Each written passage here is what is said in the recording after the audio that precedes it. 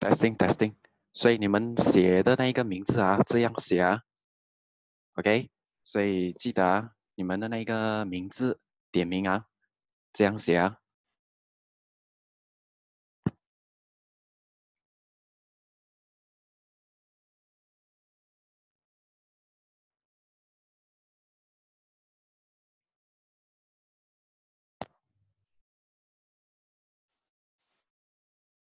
哦，至于那一个数学跑班的那一个部分啊，哈，你们就跟你们的那一个数学老师商量，或者是问他们看要怎样写，OK 吗？至于你们数学的那一个点名，你们就问一下你们的老师，他要怎样商量，啊，他要怎样点啊？OK。好，你们那些跑班啊，请记得啊，就是说那些跑班数学的，你们再来问看你们的老师到底要不要写班级还是什么？哦，问，OK。所以因为我的科学的话，我只有你们这一班而已，所以我就 OK。哦，这样写是没有问题，因为你们整班都是新班一班罢了，对吗？哦，然后至于数学跑班呢，你们就要问你们老师，对吧？哦，没有跑班啊，OK OK。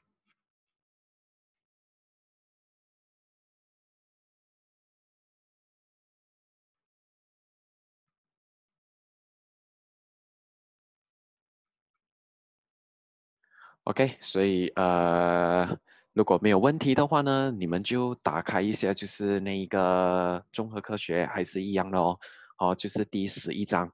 OK，然后之前的话呢，我们就是会有上到，就是说我们要怎样画串联跟并联啊，跟一些些那那一个用电器哦，或者是那一个电路里面的器件的一些的符号，对吗？所以这个章节里面的话呢，怎样画它其实是没有再讲到很多了啦啊，OK，因为它就是比较 focus 在那个电路里面的细节。OK 吗？所以呢，这一次的话呢，我们就是进就是十一点一，就是电流跟它的那个测量了啊。OK，因为那一个电流的话呢，我们之前都有学过，就是说那一个电流就是说会从 battery 的正极出来，然后再回去那一个负极那一边，对吗？电流的话呢，就是说从正极出来，然后再从负极回去。OK，除非它是讲到电子啦，电子是从负去到正啊。OK，只不过呢，我们都是看电流嘛，哦，所以电流的话呢，我们就是一律就是讲从正跑去负啦，对吗？从正跑去负啦，对吗？所以呢，我就不啊啰嗦了哦。OK，所以我们就进入那一个课程范围里面了。所以呢，我们。Before 进入正题之前呢，我们就是来看一下这两个图，OK 吗？所以呢，哈，其实你的手这样握着的话，其实为什么没有感觉呢？因为它的电量其实是实在是太小，对吗？然后其实我们的身体呢，也是一个呃可以导电的那一个部分来的，对吗？所以呢，只不过 battery 呢，battery 呢，它的那个电流它没有这么大。OK，再加上它的电压也没有大那么大了啊。OK，电压的话其实是我们下一个章节才会教的。OK，现在呢，我们先上电流先啊。因为如果你要让一个电流来走的话呢，你必须要有一个所谓的电压的哦。只不过这一次今天我是不会进入电压了啊。OK，所以呢，在这里的话呢，它就是讲到 battery 跟那个高电压哦，高压电那边哦。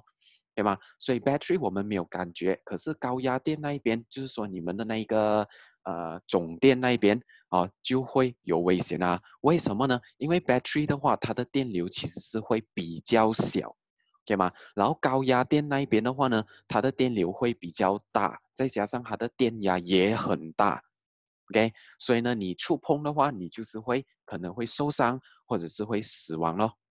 OK，其实我们的身体也是会导电，主要的就是因为我们的身体有水分，对吗？有水分，哦，所以呢，我们就是会导电哦。哎，只不过电池是没有感觉了，因为太小了，对吗？所以这里的话我就不多说了啊，对吗？这里 OK，所以呢，我们就 next 啊，OK，所以 next 的话呢，哦，所以我们来看一下，就是说在你们课本里面，OK，课本里面哦，活动一的话呢，它其实是有一个呃期间，OK 啊，所以呢，它就是用发电机来发电啦，就是说它没有用那个 battery 咯，OK 吗？它没有用 battery 啦，它就是你可以看到它就是用发电机，这里是呢有磁铁了啊。OK，所以呢，磁铁的话呢，哦，磁性跟那个电呢，其实是它们有互相关联的，只不过这一个部分呢，是我们会下半年才会交啦。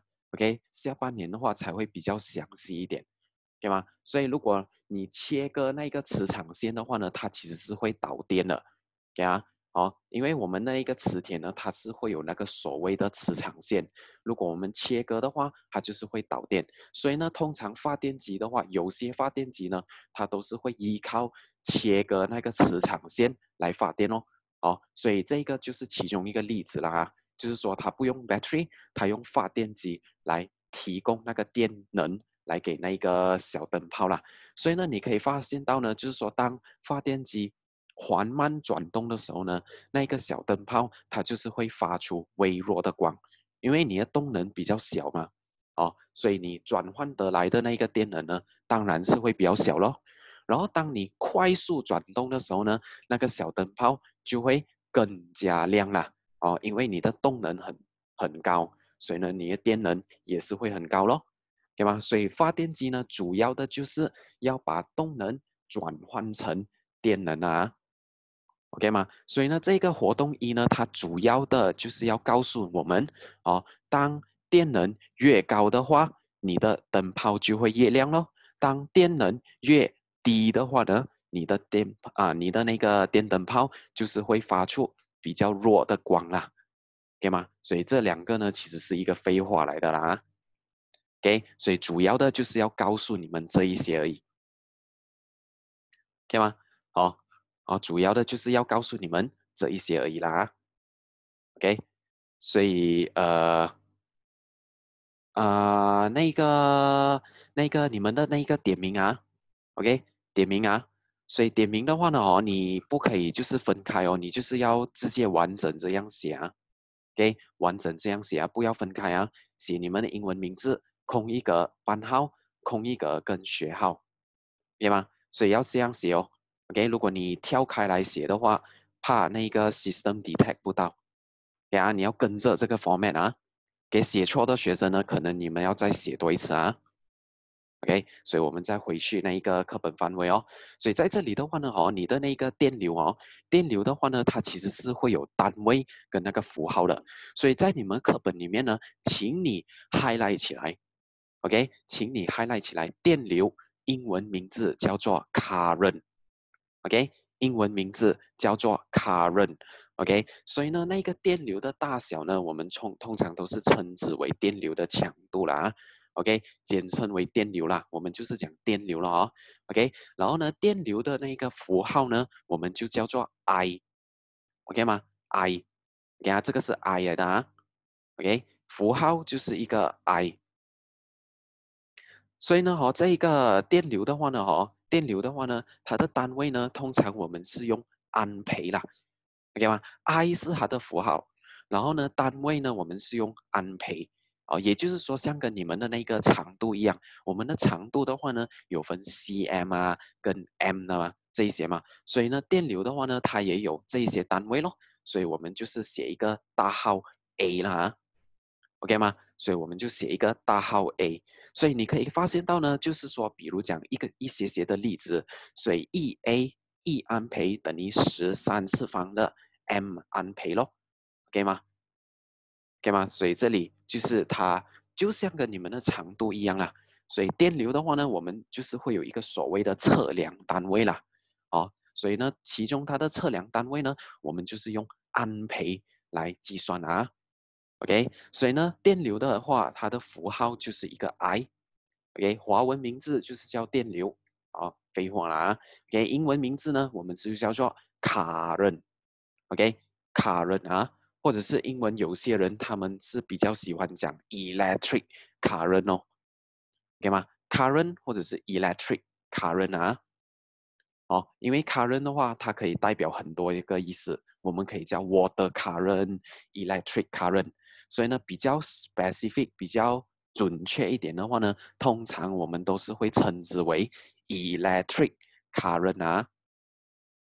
OK，只不过我们 short form 就是讲 current、current、current 哦。OK 吗？所以这个就是电流的那个介绍啦。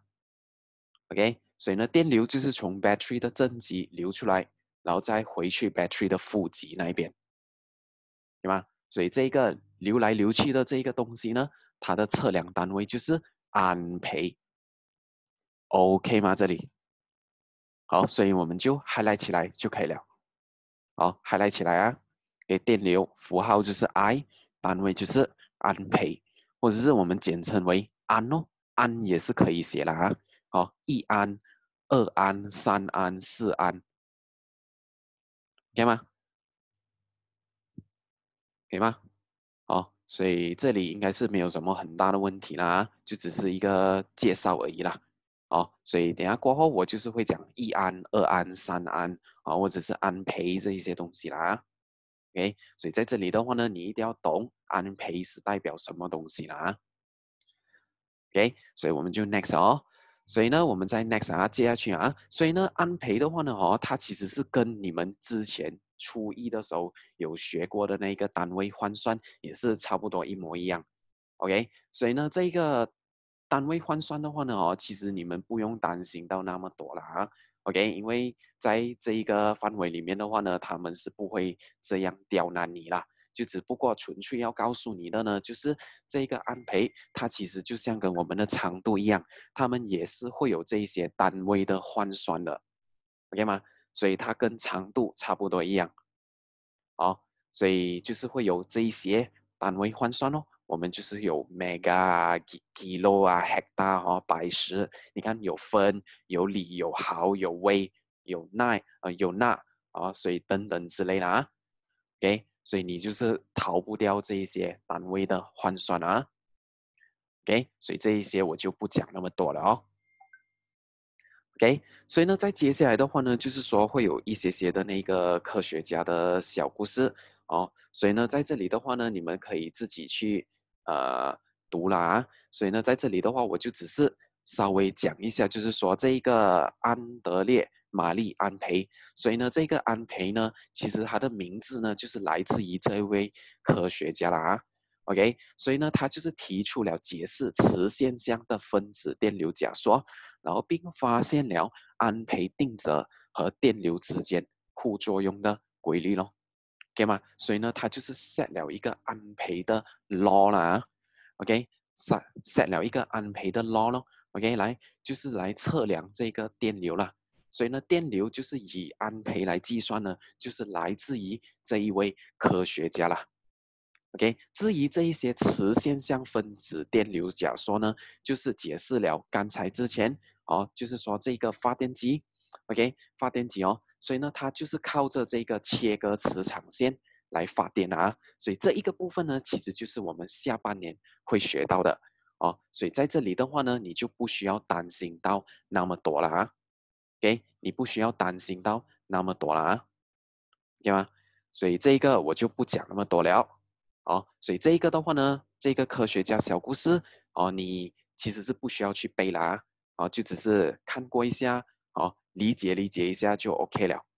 OK，因为考试没有这么注重你在这一些啦啊，哦，就只是纯粹要告诉你，安培呢其实就是来自于这一位科学家啦。OK。所以我就 next 哦，这里还有什么问题吗？OK 吗？所以如果没有问题的话呢，我们就 next 哦。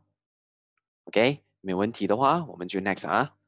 哦，所以呢，在接下来的话呢，就是说这一些那个啊工作状态下的一些些的那个所啊，就是用到的那个电流的东西啦。就比方说，我们就是会用电脑啊，哦，电冰箱啊。灯泡啊，计算机啊，手机啊，哈，然后或者是一些的电，就是电视机啊等等之类，我们都是需要到电流啦，所以他们才能正常的工作啦，OK 吗？所以我们就是要依靠电流来让这一些用电器来工作咯，OK 吗？所以用电器的话呢，他们都是需要到电流来工作了啊，OK，所以这一些呢就只是一个介绍而已啦，OK 吗？可以吗？好，所以如果 OK 的话呢，我们就 proceed 哦。哦，所以你可以发现到呢，哦，每一个用电器呢，他们就是会有用不同不同的那个电量咯。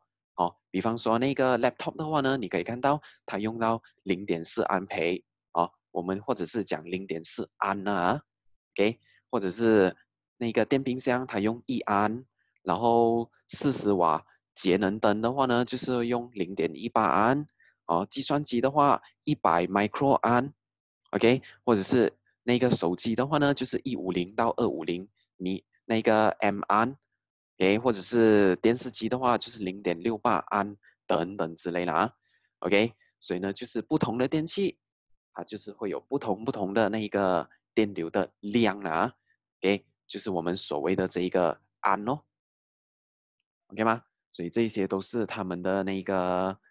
所需要的那一个量了啊，OK，所以如果没有问题的话呢，我们就 proceed 哦，OK，所以我们 next 啊，OK，所以我们 next 哦，所以呢，在这里的话呢，哦，啊，不只是用电器，呃，就是需要用到电而已，OK 吗？就是说我们的那个生物，我们就是会有那个所谓的生物电，OK 吗？所以它在这里的话呢，就是会有讲解到，不单是电路中存在着。电流，其实我们生物体内呢也是会有这一些电流的，OK，所以呢，其实我们人体心脏跳动的时候呢，它其实就是由这一些微弱的脉冲电流来触发跟控制的，OK 吗？所以呢，这一个就是我们所谓的正常心电图咯，OK，所以呢，意思说我们人体里面其实也有电流，只不过是很微弱，OK 吗？是很弱而已。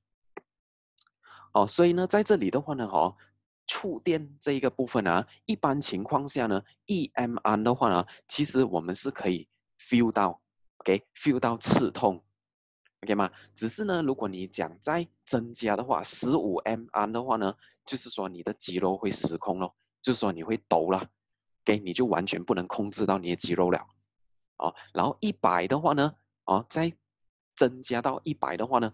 可能就是会导致死亡，OK 吗？这里，哦，所以在这一个部分的话呢，它主要的就是要告诉你们，我们生物里面啊，体内其实也有这个所谓的电流，呀，不单是在非生物的那个电路中，我们这一些生物也是会有电流的，只是那个量是很弱，OK 吗？因为现在我们的时间还少过一分钟的缘故，所以呢，可能那一个 meeting 会随时会断掉啦，所以需要你们再退出再进去多一次咯，对吧？所以呢，在这里的话，有什么问题吗？OK，这里有什么问题吗？哦，所以这一个就是讲解到我们身体里面也是会有这个所谓的电流了啊，OK 吗？好，所以 OK 吗？所以这一个小档案呢，其实我过后会把那个 video 放进去你们的 WhatsApp group 里面，哦，所以你们自己去看一下这个 video 啦。因为如果我在这里播的话，它会很 lag，OK 吗？它会很 lag 啊，OK 吗？所以这里有什么问题吗？好，所以没有问题的话呢，好，我随时这个 meeting 会断掉啊。